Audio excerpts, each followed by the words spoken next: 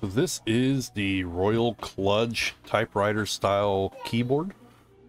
It looks pretty nice. It does have a collapsible wrist rest here. You can put that away if you don't want to use it and then fold it out if you do.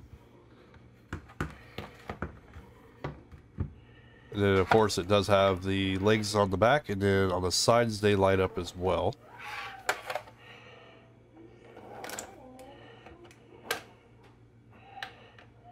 Nice rubber grip on the legs.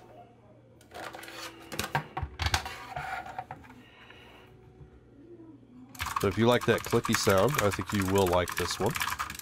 It's not overly loud compared to some of them, but uh, it is there. Nice bounce on the keys. This is what it looks like default when you first plug it in. You can also see the lights on the side as well. Each individual key has its own LED light, so that's pretty nice compared to some of those uh, really cheap keyboards like I had. Now, one thing I'm not a big fan of is that they didn't add any instructions on changing the settings or anything. It's all listed on the on the page, so you actually have to look online to get all the settings to change the LED backlights and everything.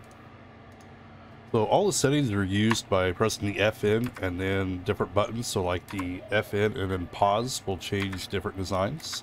FN and page up, page down, FN home, uh, the plus and minus, uh, up and down, uh, where you can just you can change the brightness, the different uh, colors, the uh, different. Uh, I mean, there's just a lot of customizations. I, I really wish they would have included instructions though.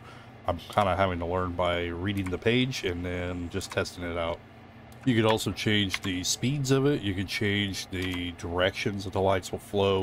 I mean, the customizations so far are pretty endless that I'm finding. Uh, there's also where you can like do customizations where you can have like the individual lights for different keys.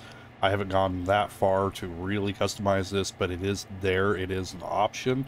It's not really something I'm going to spend a ton of time to do, but if it's something that you're interested in, this keyboard does have it.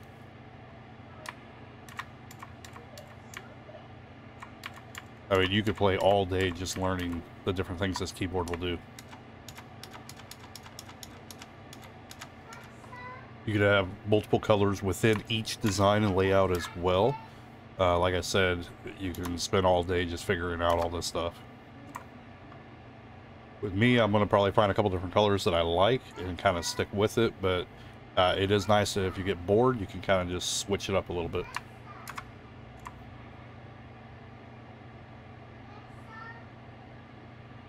But I will put in the comments down below, or not the comments, but the description down below, I will put all the different commands. Uh, that way you can find them easily.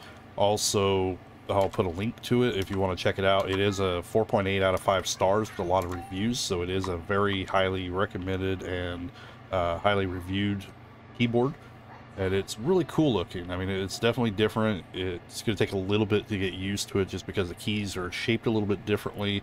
The layout is just slightly different with like the space between them and everything. I've already caught myself uh, making a few mistakes just trying to get used to this. I've been using the same keyboard for over a year uh, but anyway, definitely check it out. Thank you for watching. Subscribe, like, comment below.